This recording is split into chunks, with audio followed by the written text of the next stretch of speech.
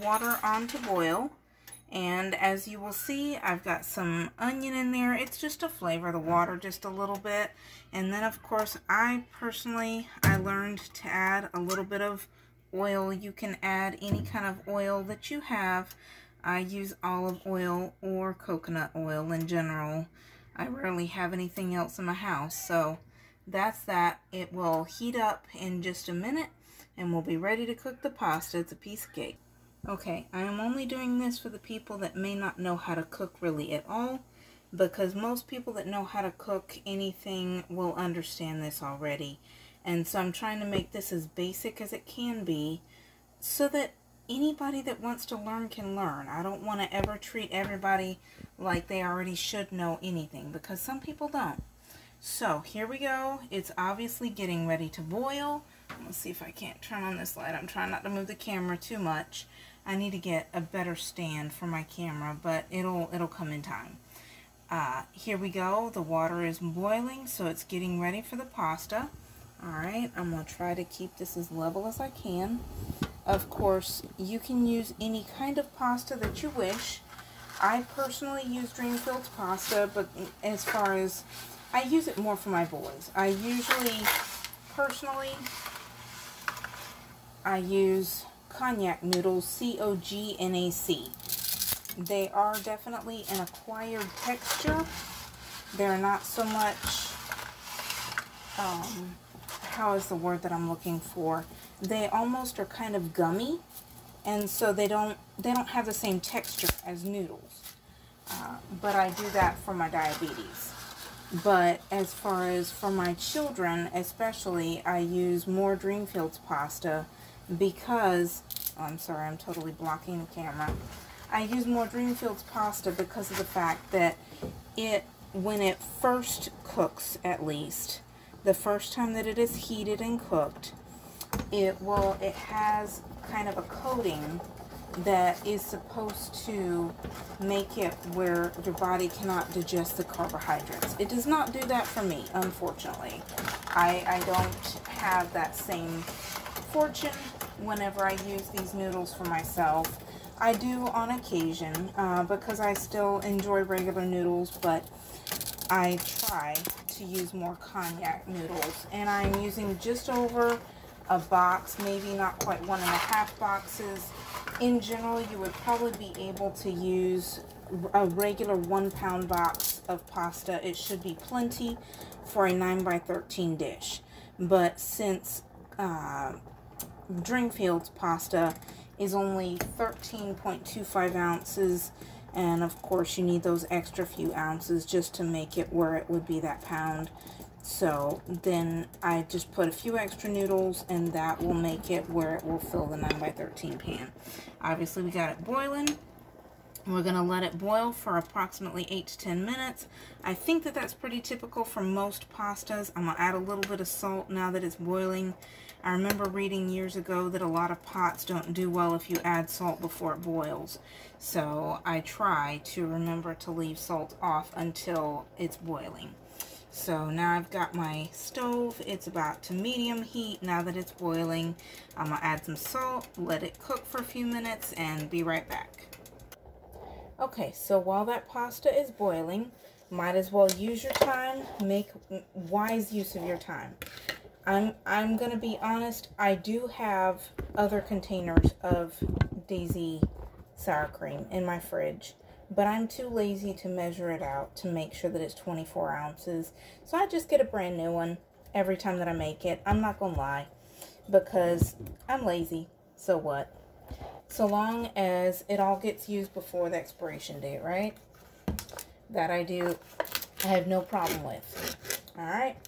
So I just take this. The whole thing goes into, I'm sorry, my blender. Whole thing. No sense in... Alright.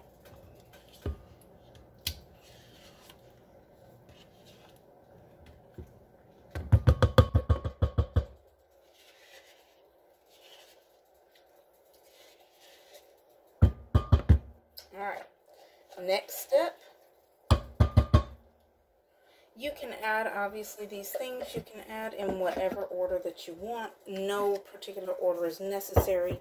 A lot of times I prefer to put the bell peppers on the bottom because it seems like the liquidiness of it, it gets blended a lot easier. Things like that. Give me one second. I'm going to stir these noodles. Make sure that hopefully they don't stick to the bottom of the pan or worse in some ways, stick together. Alright. Here we go with that. Alright, so then we're going to take these. I don't generally keep, I keep the juice in the can or uh, whatever this thing is called. All of a sudden my brain is farting, so I apologize. But this jar, I usually leave the the juice of everything in the jar. If some comes out with the peppers, I don't care but I leave the juice in general in the jar because every once in a while it will be a strong enough bell pepper flavor. Most of the time it will be a strong enough bell pepper flavor even without that juice. But on rare occasion I added a little bit too much of this or that. So I added in the juice just to add for the flavor. Okay. And there it's just you take the whole thing. This is a 16 ounce jar. Okay. You can use whatever brand that you want, but the other brands that I've seen in my local grocery stores are more 12 ounces, and since this is a 16 ouncer, I like it because it seems to bring out the bell pepper flavor a little bit better. But you can always use whichever kind that you prefer. All right, we're just about there.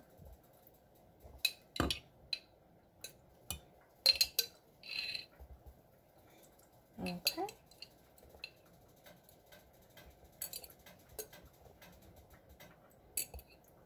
Alright, that pretty much has got it all. Alright, got all of it out. Well, got one teeny little one in there. Yes, I am absolutely stingy enough that I will go back and get it. Alright, so there we got that. A little good dash of that half and half makes it where it's nice and a, a little bit smoother. A little bit what's the word, more liquidy. Okay. Then we get, I just like the creaminess of the mozzarella. So I just add a little bit of mozzarella cheese. I would not recommend doing a whole lot. I just do like a handful or so, maybe a handful and a half. One time I put a little bit too much, too much mozzarella cheese and it just, it really took away the flavor and I really did not enjoy it. My boys, they don't care, but that was that. So next, you're going to want to have some bouillon.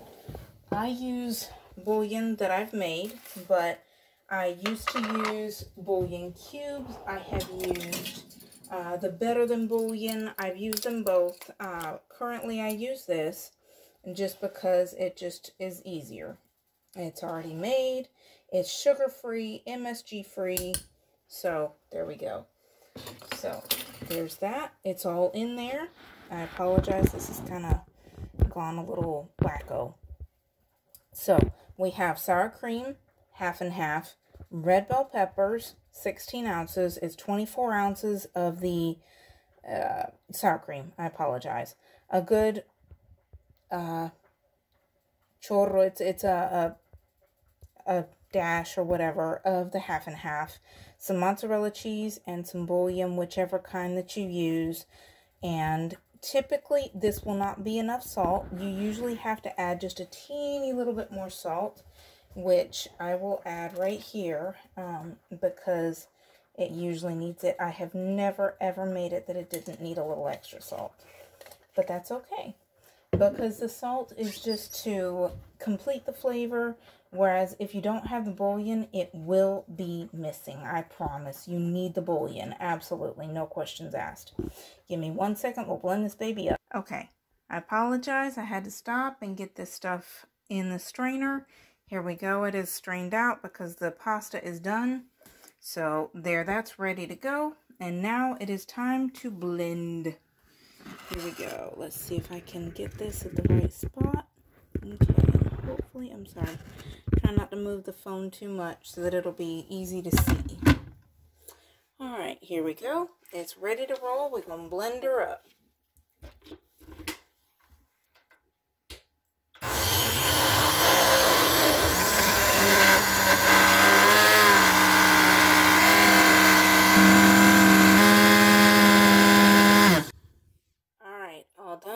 Second. I apologize that this part of the video is a little disconnected from the rest, but I somehow did not record this the other day, and so once I went to editing it, I realized that I had not recorded it, so I'm just going to do a partial portion real quick so that I can show you what you would have missed had I not put it in there.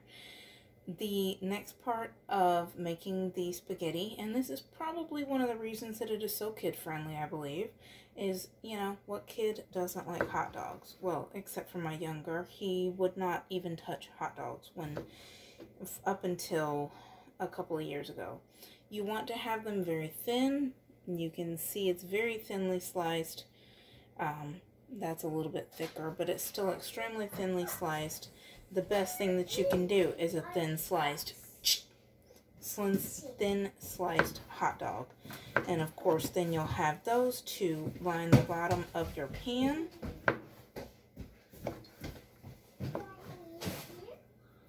And of course, I figure these hot dogs are not going to go to waste because I figure my boys will love to have them with some mac and cheese or something like that in the very near future. So I'll just put these in a baggie after I'm done. But you can see the general gist. That's what I'm actually recording for.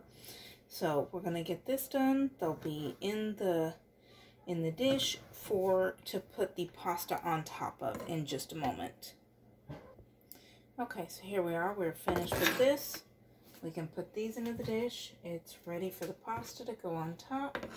Of course, this is only half of the amount of hot dogs typically that you would want to have uh, because I only did approximately half of the package of hot dogs. But here we go. So like I said, you can see they're very thinly sliced. That's the whole gist of it. Also, most Hispanics will include ham they don't not necessarily have to, depends on what you have.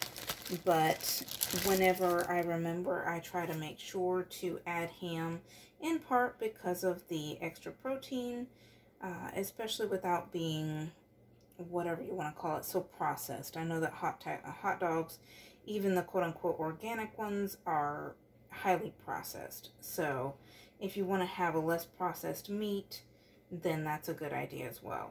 So I'm just, this particular ham I had gotten out of the package because it was only a little bit left.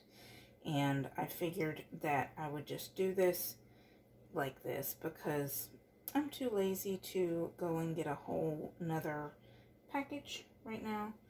I didn't want to go and spend that kind of money at the store. Here we are. So there's that. So now that it's all approximately, uh, approximately even, we're just going to take it and slice it, dice it, whatever you want to call it, into small portions so that it is extremely bite size. Here we go with this.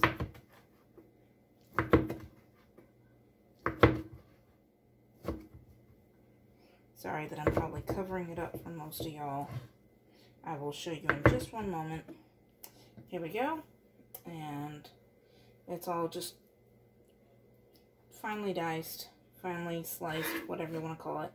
And then obviously, as the same as what you would want to do with the hot dogs, you're going to want to have an even portion in your in your dish so that once you put the pasta around there that it's evenly typically evenly stirred up into the pasta. Oops, I sorry.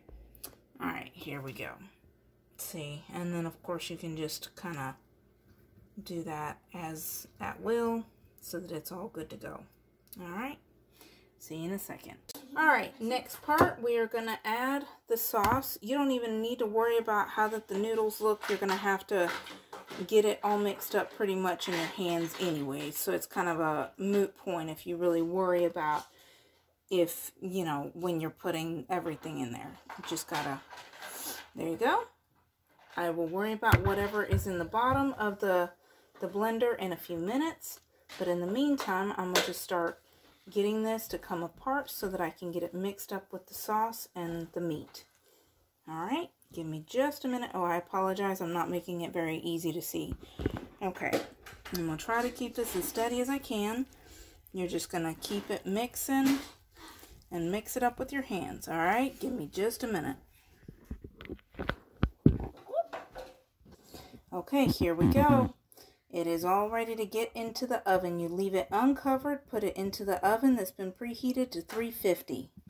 Okay, for right now, you're going to leave it in the oven cooking for 15 minutes. After 15 minutes, you're going to want to kind of, I would call it stir, but you're going to move everything around because the top will start to get the hot dogs and the meat will start to get a little toasted and they can dry out and then they can look real burnt and get a burnt taste so you want to move it around. But of course typically the pasta won't be completely reheated because after having been mixed with the uh, with the refrigerator temperature mixture then it's going to cool down quite a bit. So all right give it 15 minutes and we'll be ready to roll. 15 minutes has passed so it is time to get this stuff uh, turned over a little bit. I will show you in just a moment. Here we go with this.